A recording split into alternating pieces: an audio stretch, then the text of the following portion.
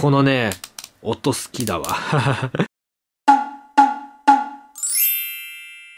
皆さんこんにちはジェイソーレゴビルだひろげだはい、今回の動画はこちら。レゴクリエイターファイヤードラゴンの続きになります。前回の動画でこちらのサーベルタイガーを作りました。このサーベルタイガーなんですけど、ドラゴンに負けないクオリティと迫力があってとても良かったです。今回の動画ではこちらのサソリを組み立てます。はい、ファイヤードラゴンとサーベルタイガーの動画はこの動画の概要欄に載せておきます。合わせてみてください。はい、それでは組み立てます。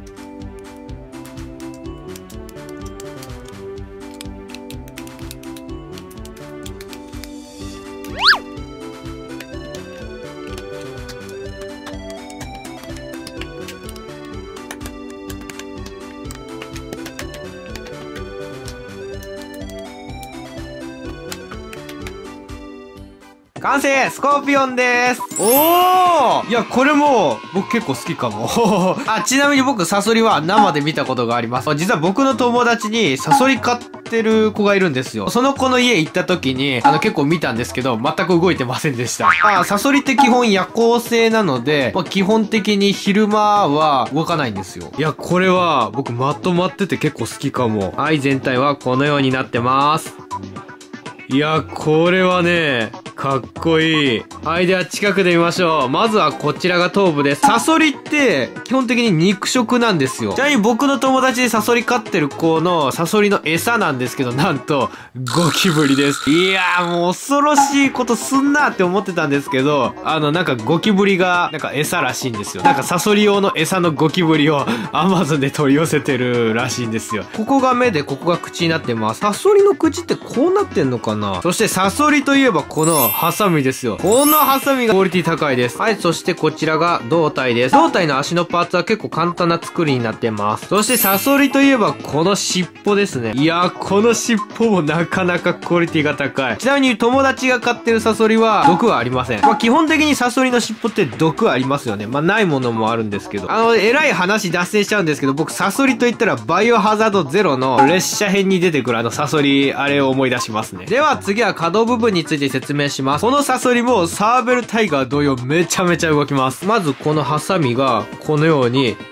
稼働します。マックスここまで開きます。あの、ちなみにこれどうなってるのかというと、後ろにボールジョイントがあるので、こんな感じで稼働します。で、ハサミの根元のここも、このように回転します。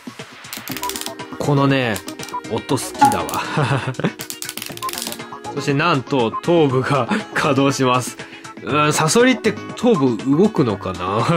ちなみに足パーツなんですけど、作りは基本的に一緒で、真ん中の足のこの下のプレートパーツが違うだけです。この足のパーツも、このようにクリックで稼働します。下はここまでで、上はここまで動きます。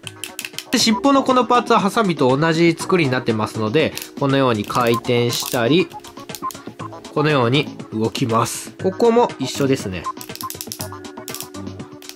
そしてこの尻尾のこの部分もヒンジになってます。尻尾が結構動きますね。そして尻尾の爪のパーツもこのようにヒンジになってますので、このように稼働します。いや、すごい。はい、稼働パーツを活かしてこんな感じでポーズを取らせることができます。やっぱね、レゴクリエイターの生き物系のクオリティはもうほんと高いです。基本的にレゴクリエイターの生き物系の3つ目って、めっちゃ動きますよね。去年作ったレゴクリエイターの深海生物のイカ、あれを思い出します。やっぱここまで動くレゴクリエイターはもう遊び応えありますよ。はい、基礎板の上に置いてみるとこんな感じです。あの、サソリって基本的に砂漠のイメージ多いので、このベージュ色の基礎板めっちゃ合いますね。では続いて大きさ比較いきましょう。まず、ミニフィグと並べるとこんな感じです。えー、これもう色変えたら完璧にバイオハザードゼロのサソリじゃん。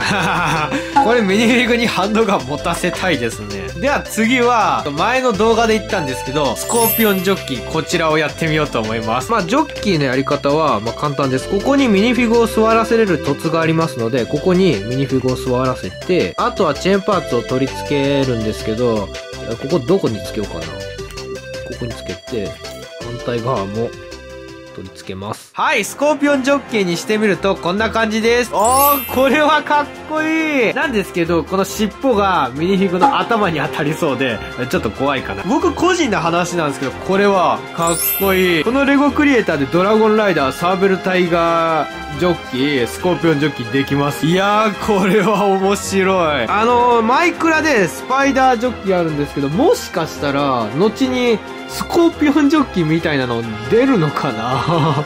いや、出たら面白いっすよ、これ。はい、レゴクリエイターファイヤードラゴンのサソリはこんな感じです。はい、ということで、レゴクリエイターファイヤードラゴンのサソリを組み立てました。もうこれは最高。このレゴクリエイターもうほんとクオリティが高いので、これはもう皆さんぜひ作って、僕みたいにこんな感じでミニフィグとチェーンパーツを組み合わせてライダーにするのもありです。このクリエイターは本当に素晴らしかったです。と、まあ、僕動画の最後らへんで、レゴクリエイター3つ作ってどれが良かったんですかって聞いてるんですけど、これはもうつけれません。あのー、3つとも本当にクオリティが高くて、これはもうちょっとつけがたいです。いや、このクリエイターは本当に素晴らしかった。レゴクリエイターの生き物系はもう毎度言ってるんですけど、完成度とクオリティが非常に高いので、もうどっちもつけられないですね。僕が好きなレゴクリエイターの、もう、ど真ん中にいてもいいですね。これは本当に素晴らしかったです。次に出てくる生き物系のクリエイターもすっごく楽しみです。レゴクリエイターファイヤードラゴンは本当に素晴らしかったです。はい、この動画が面白ければグッドボタン、高評価をお願いします。そして僕のチャンネル登録やコメントやリクエストや質問などお待ちしております。以上、ひろげでした。ありがとうございました。はい、今回の動画面白ければグッドボタン、高評価をよろしくお願いします。そして僕のチャンネルに登録していただくと最新の動画がいち早く見れます。ぜひチャンネル登録をよろしくお願いします。そしてコメントやリクエストや質問などお待ちしております。それでは次の動画でお会いしましょう。おならーイェーイ